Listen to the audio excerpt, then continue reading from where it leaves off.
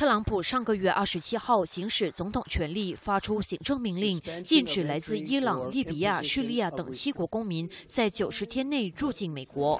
禁令传开之后，国内外抗议声浪不断。华盛顿和明尼苏达州政府更是直接对特朗普的禁令提出上诉。美国第九巡回上诉法院三司星期四聆审后表示，政府没有阐明相关的禁令实施的明显优势，也没有表明被否决后会造成不可。挽回的损失，还强调公众有权自由旅行，免于家庭流离或被歧视，因此一致裁定继续冻结限制移民和难民的行政命令。这也意味着七个被点名的国家移民和难民依然可以入境美国。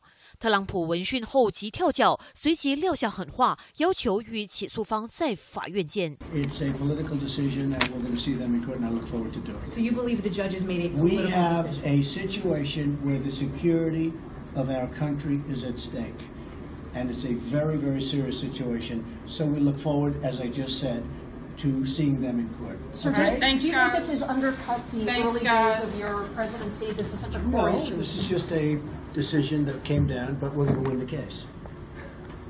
And have you conferred with your new Attorney General on this tonight? Is he No, I haven't. We just heard the decision. How did you find out about the decision, Mr. President? Just saw it. We just saw it just like you did. 总统下战帖对今天获胜的华盛顿州检察长而言，似乎是小事一桩，更揶揄其实早已经在法院与总统见过面。In response to the president's tweet, well, we, uh, we have seen him in court twice, and we're two for two. That's number one.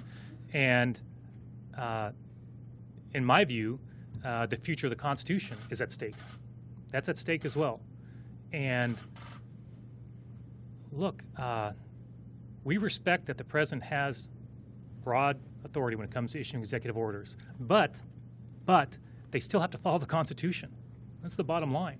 华盛顿州总检察长福格森形容上诉法院今天的裁决是华盛顿的一大胜利，说明在法治国家，任何人，包括总统，都必须遵法行事。This is a complete victory for the state of Washington. Uh, the Ninth Circuit Court of Appeals in a unanimous decision, effectively granted everything we sought. Um, we are a nation of laws. And as I have said, as we have said from day one, that those laws apply to everybody in our country.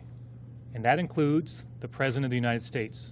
根据程序，在上诉法院结果出炉之后，不满的一方可以要求将案件带到美国最高法院审理，因此案件还不算终结。不过，尽管如此，目前可以确定的是，禁令暂时无法生效，对涉及的七国人民而言，绝对是一大好消息。